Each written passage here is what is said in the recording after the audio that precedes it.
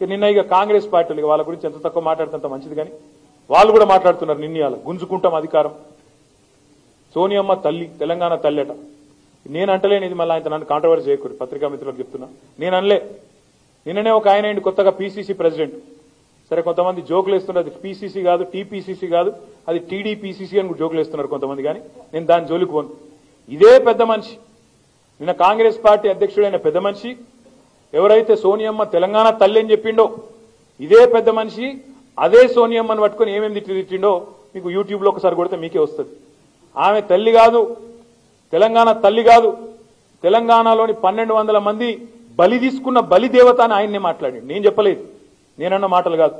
ఇదే రేవంత్ రెడ్డి గారు అదే సోనియా గాంధీని పట్టుకొని పన్నెండు వందల మంది కొంప ఉచ్చుకున్నావు నువ్వు పన్నెండు వందల మందిని బలి తీసుకున్న బలిదేవతవు నువ్వు అని తిట్టిండు. ఇలా ఆయననే అంటుండు. ఆమె తెలంగాణ తల్లి ఆమె ఫోటో పెట్టుకోవాలి మనం అని మాట్లాడుతుంది రేపో ఎల్లుండో ఆయన మళ్ళీ చంద్రబాబు నాయుడే తెలంగాణ తండ్రి అని కూడా చెప్పినా చెప్తాడు జాగ్రత్తగా కూడా ఎందుకంటే ఇంకా పాత వాసనలు ఓతలేవు పాత వాసనలు ఓతలేవు పాపం ఇంకా కూడా అది తెలుగుదేశంలో ఉన్నాడో కాంగ్రెస్ ఉన్నాడో అది తెలుగు కాంగ్రెస్ అది ఏం పార్టీ నాకైతే తెలియదు కానీ మొత్తానికైతే గందరగోళం నడుస్తుంది అక్కడ. రెండు రోజులు ఉంటుంది. కొత్త సినిమా రిలీజ్ అయినప్పుడు ముంగట కొంతమంది పేపర్లు చూపేటోళ్ళు ఎగరేసేటోళ్ళు దుంకేటోళ్ళు కిందికి వెళ్ళి సీటీ కొట్టేటోళ్ళు ఆగమాగం బ్యాచ్ ఒకటి ఉంటుంది. ఆ బ్యాచ్ వేసుకొని ఇక వాళ్ళనే చూసుకొని ఏదో జరిగిపోయింది అయిపోయింది. కోతికి కదా కొబ్బరి చిప్ప దొరికినట్టు ఆయన ఏదో ప్రధానమంత్రి పదవి పొందినంత బిల్డప్ ఇస్తాడు నిన్న ఓటుకు నోటు కేసులో ఆయన మాట్లాడితే గమ్మత్ అనిపిస్తుంది ఏమంటాడు ఆయన? మా కాంగ్రెస్ ఎమ్మెల్యేలను కొనేసిండ్రు అంటాడు.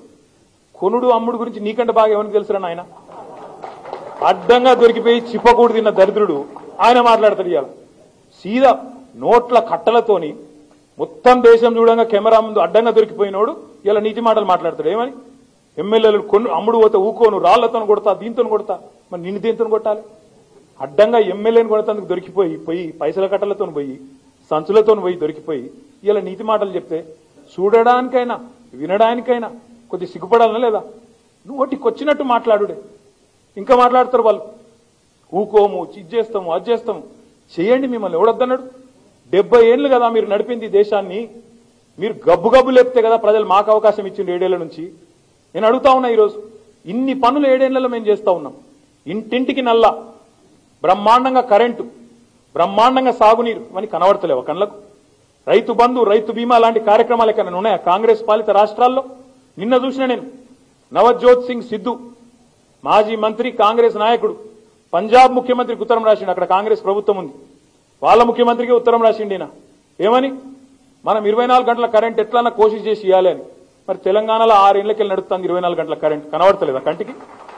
నీ ప్రభుత్వం అక్కడ ఉంటేనేమో ఇరవై నాలుగు గంటల కరెంట్ ఇచ్చే తెలివి లేదు. డెబ్బై ఏళ్ళు దేశాన్ని నీ చేతిలో పెడితే నడిపే తెలివి లేదు. మళ్ళీ ఇవాళ ఇక్కడికి వచ్చి కేసీఆర్ చేతిలో బందీ అయిపోయింది. ఇదైపోయింది. గుంజుకోవాలి. ఏంది గుంజుకునేది? ప్రజలేమైనా గుంజుకునే తనకేమైనా నోట్ల కట్టలా? మీ వాళ్ళే నీ పార్టీ వాళ్ళే చెప్తున్నారు. మేం చెప్పుడు కాదు.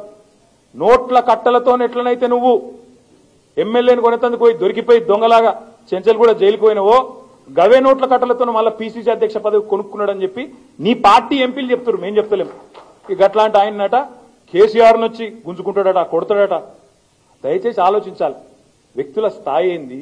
కేసీఆర్ స్థాయి ఏంది? అసలు మీ కేసీఆర్ తోని మాట్లాడు కదా అనే పేరు ఉచ్చరించే మీకు ఆ అర్హత కూడా లేదు. ఒక రకంగా చెప్పాలంటే. ఇంకొక మాట కూడా నేను గుర్తు చేస్తా ఉన్నా మీ అందరికీ. ఒక ఆయన టీపీసీసీ ఇంకొక ఆయన టీ బీజేపీ అసలు టీఆర్ఎస్ఏ లేకపోతే టీ ఎక్కడిది ఆ టీ బీజేపీ ఎక్కడిది టీ కాంగ్రెస్ ఎక్కడిది? టీఆర్ఎస్ఏ లేకపోతే వీళ్ళకి పదవులు వచ్చినా కేసీఆర్ఏ లేకపోతే ఈ టీపీసీసీ ఎవడా టీ బీజేపీ ఎవడు? వీళ్ళని అడిగినోడు ఎవడు అసలు? ఆంధ్రప్రదేశ్లో ఉంటే గంజిల ఈగ లెక్క తీసవతల వారిద్దరు వీళ్ళని. వాళ్ళట ఇవాళ వచ్చి పెద్ద పెద్ద డైలాగులు. కోతి కొబ్బరి చిప్ప దొరికినట్టు ఇంత పదవి దొరికింది. దానికి ఏదో ప్రధానమంత్రి పదవి దొరికినంత బిల్డప్ ర్యాలీలు అట్టహాసము పేపర్లు ప్రకటనలు చేసుకో అభ్యంతరం లేదు. కానీ పిచ్చి మాటలు మాట్లాడకు. పిచ్చి పిచ్చికి ఎగరకు పిచ్చి పిచ్చి మాటలు మాట్లాడకు.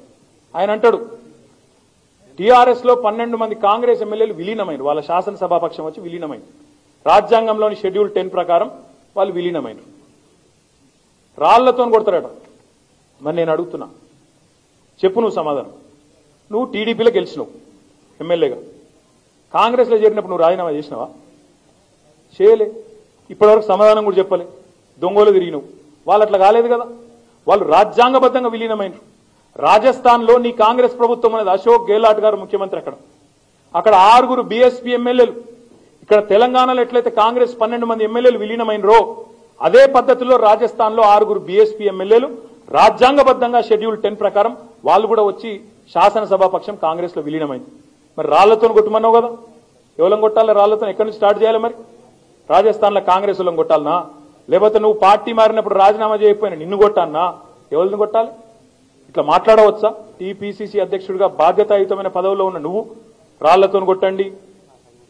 ఆ మాటకు వస్తే ఎవరు దేంతో ఎట్లా కొట్టాలనో కొడతారు.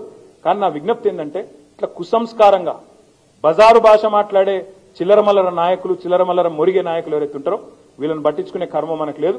మన పని మనం చేసుకుంటూ పోదాం. బ్రహ్మాండంగా ప్రజా సంక్షేమ కార్యక్రమాలు కానీ అభివృద్ధి కార్యక్రమాలు కానీ గౌరవ ముఖ్యమంత్రి కేసీఆర్ గారి నాయకత్వంలో బ్రహ్మాండంగా చేసుకుంటూ ఎట్లయితే సింగరేణి సంస్థను బాగు చేసుకున్నామో ఎట్లయితే రాష్ట్రాన్ని బాగు చేసుకునే దిశగా ఒక్కొక్క అడుగు ఒక్కొక్క అడుగు వేసుకుని ముందుకు పోతా ఉన్నామో అదే పద్ధతుల్లో ఎవరెంత మురిగినా ఎవరెంత అరిచినా ఎవరెంత లొల్లివెట్టినా పట్టించుకోకుండా ముందుకు పోదాం. వీళ్ళెవ్వరెంత మురిగినా ఎంత అరిచినా ఏమి కాదు. మనెంబడ కేసీఆర్ గారు ఉన్నారనే మాట మళ్ళొక్కసారి నేను మీకు గుర్తు చేస్తూ